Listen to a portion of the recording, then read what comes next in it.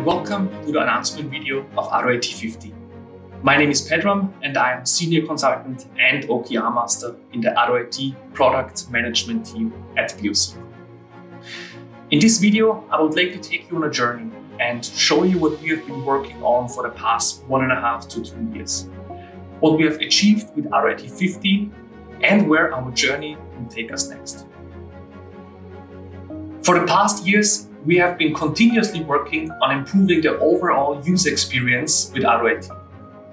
Ultimately, all our findings ended up in a complete overhaul of ADOIT's user interface to make it easier for you to navigate through the most relevant components of the tool in the fastest and most intuitive way.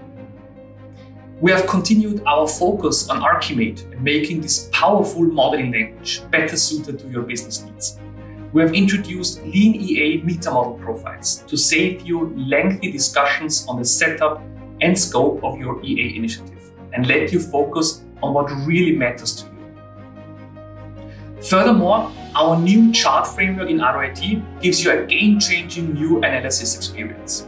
You can choose from different chart types and dynamically create your own diagrams. Or leverage one of the predefined templates that come with ADOIT. Make use of coloring and heat mapping to easily bring an additional dimension to your architecture assets. And share your findings and the relevant data story with all the stakeholders to have them benefit from these insights too. In our latest release, ADOIT 15, we are proud to announce that we have extended this analysis experience with two new chart types. The radar chart helps you visualize your EA artifacts in a circular chart and categorize them into segments and rings. As an example, such charts enable you to create technology radars that help you do an audit of your technology portfolio and find potential risks and dark spots.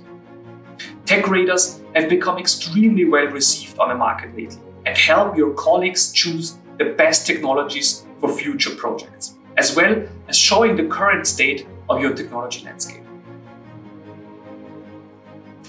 With bar charts, your EA data is represented as bars.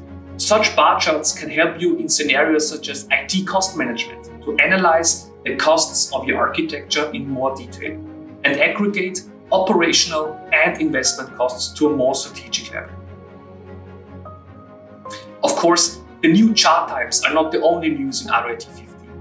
So make sure to check out our BOC group website to have a look at the full release notes. Or directly register for our free ADOIT Community Edition to have a look at it for yourself. What else have we been working on lately? Our ADOIT marketplace continues to grow. Existing integration scenarios such as ServiceNow, Jira, or Confluence were extended. A general connected with business process management tools, such as our sister product Adonis was built. The integration with data analytics tools such as Power BI was established. And we continue to integrate with the Office 365 suite. At the beginning of this year, we also launched our new EA Portfolio Management e-learning series. These one to two hour interactive online trainings are self-guided conclude with a training diploma, and the best part, are completely free. So make sure to check out our ADOIT marketplace and register for the trainings you are interested in.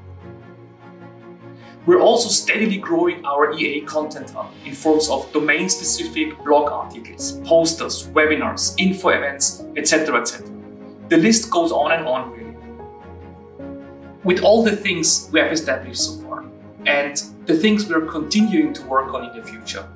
We are extremely proud to continue receiving top ratings in the latest Gartner and Forrester reports. We are especially thankful for winning the Gartner Customer Choice Award, as this rating is based on positive feedback from you, our users. So, thank you all for your continuous support and all the faith you have put in us. With this being said, Happy release, everyone. Stay tuned for more and continue to be part of our journey.